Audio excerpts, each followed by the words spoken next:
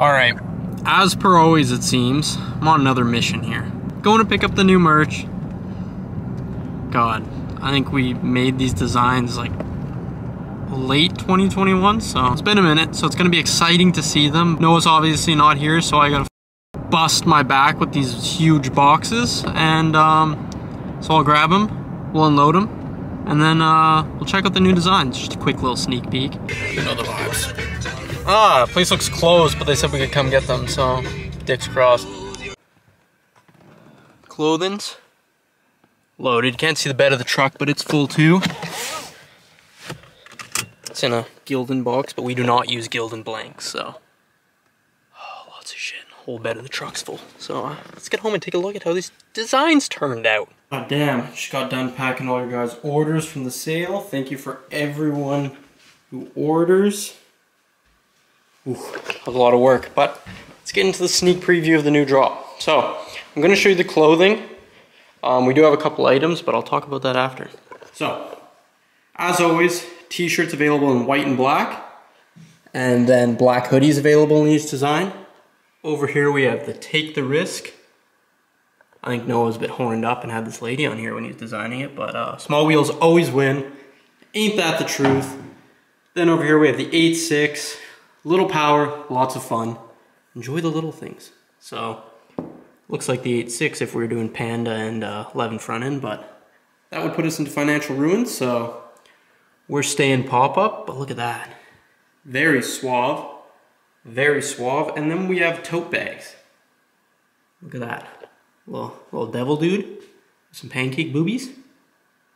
And uh, Mark II, Longchamp, Formula Mesh, and the Star Shark on there. So you can look forward to these, available in white and black t-shirts and black hoodies. Other items we have, we have towels coming, like the kind of little rectangle towels.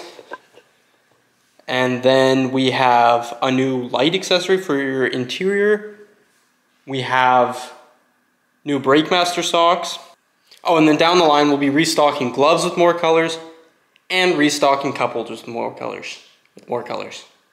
Okay, so for the fronts we have the little chest hits, little power, lots of fun, moist boys, and take the risk. Small wheels always win.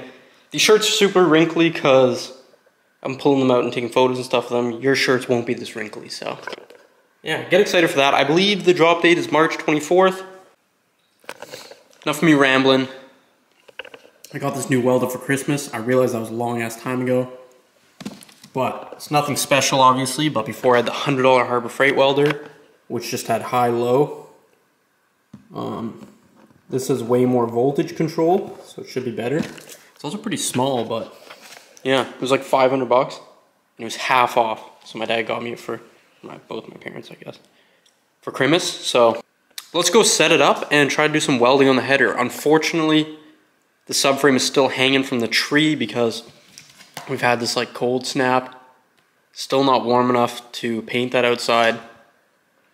But we got to do some welding on the header, so let's try to set this thing up and um, see if we can do that. You know, it's times like these where knowing how to read would be super useful. Like, who's Manuel?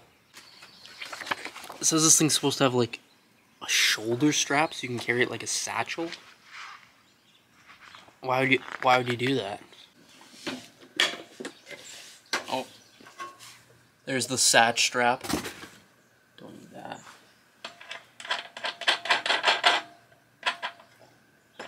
Guess we'll put our spool in. Alright, I think it's all set up. That was pretty much an absolute IKEA cabinet build. But um, I'm going to cut off the stuff on the header that we don't need and are going to weld up with the old angle grinder. And then we'll test out this welder and uh, play around with the speeds and such. You know, should probably test it on a test piece of metal. But do I look like I care? Going to cut off this this, and this. I don't know if this is like, this part was a K header, and then, because you can see these welds here, if it was welded onto like a 4AG header. I don't know what's happening here, but Let's get to doing some mods. This is terrible.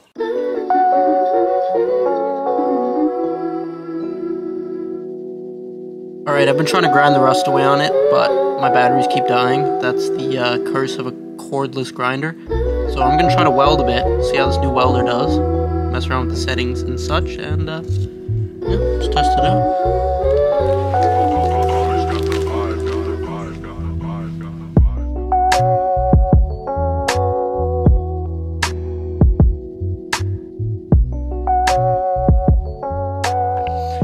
Holes are welded up. I'm not going to show you those welds because new welder. I was trying to dial it in, and also I have no skills, so the welds aren't beautiful, but they're gonna work. Um, trying to think of what else we can do right now. Let's unwrap the motor. As you can see, it's still all taped up from me and Dalton's. It's like a present.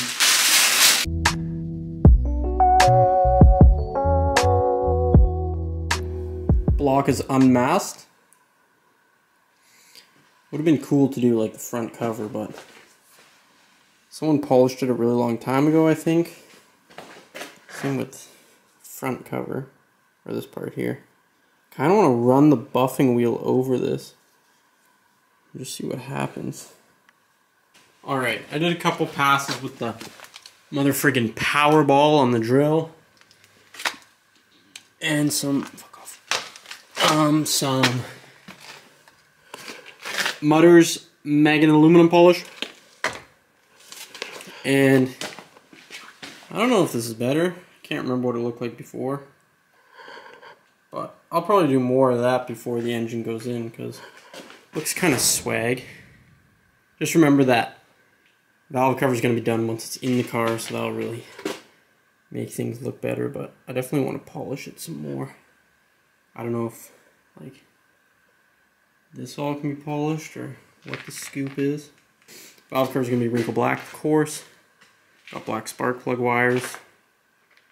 And the intake over here has actually also been polished, so I'll probably just polish that a bit more because it's losing some of its luster.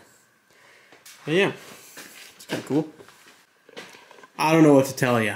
We're waiting for things to happen to the 8.6 selling a bunch of stuff to afford a link for the Silvia.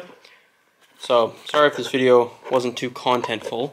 We'll be back in full swing with juicy content soon, but I guess I should explain a bit about the ECU. There's a bunch of comments on the last video of the Dynatune. Um, someone said you should have asked before you brought a Nistune to see if that shop was into Nistune. They actually installed the Nistune for Ben, um, so yeah, they do Nistune and are comfortable with it, they said. But my theory is that when they installed the board, a solder point didn't penetrate properly, and so there was kind of a connection that was messed up or something shorted. But we're just going to get rid of that. The Nistune's old ass technology. Everyone says go standalone. So we're going to go standalone and also, I said, comment down below what power you think the CA is going to make. So it actually made 257 wheel on the dyno. The tuner said it could go higher, but he didn't want to push it because the way it was running. And then they said on standalone, it should make 300. Like all the um, supporting mods should make 300 wheel. So who knows, once we get the link in there, if that'll happen. That'd be kind of cool. Um, not really mainly after power. I would just like to actually be able to drive the car and have it run and drive smoothly. But yeah, I'm selling some shit and then I'm going to order the link probably from Jimmy Oakes because he has a CA1 in stock, I think, according to his website. Otherwise, RJ's blown the inventory. Um, but I don't think that's the case. So, probably buy it from Jimmy. Don't think I'm, I'm not gonna ask him for a discount because you know he's just trying to be out here making a buck like the rest of us. But anyway, what's next for the 8.6 is I'll paint the header and the subframe, and then the next 8.6 video should be assembling the subframe. Once the temperature around here heats up a bit, so I can actually paint outside, is respraying the subframe, respraying the subframe, finishing that so we can get it in the 8.6, and then the motor choder can go in because you know subframe's kind of important for the motor to sit in. Um, and then for the Silvia, yeah, just I was really excited to lower it and make it all cool But we're gonna have to wait for the proper tune for that, so just gotta get the um, link purchased and in our hands, and then we can move forward with that. But yeah, as you saw, the new merch is coming at the end of March. But in the meantime, if you want to pick anything up, like a cool ass Moist Boys trucker hat, link is in the description. Really appreciate you guys ordering. My portion of that proceeds will be going to a link. But yeah, um, comment, like, subscribe, show your friends, tell your friends. Sorry this video wasn't the most content rich, but I assure you there's lots to do on the 8.6. It's coming up. We're just kind of in a weird spot right now. But yeah, I'm ex excited and extraordinarily nervous to weld these flares, do all the body work back there, because you know that rear end of the car is dicked. But yeah, Stay tuned for that. And the boys are trying to hit a million K up on that YouTube. Best content that nobody subscribes to. Too witty.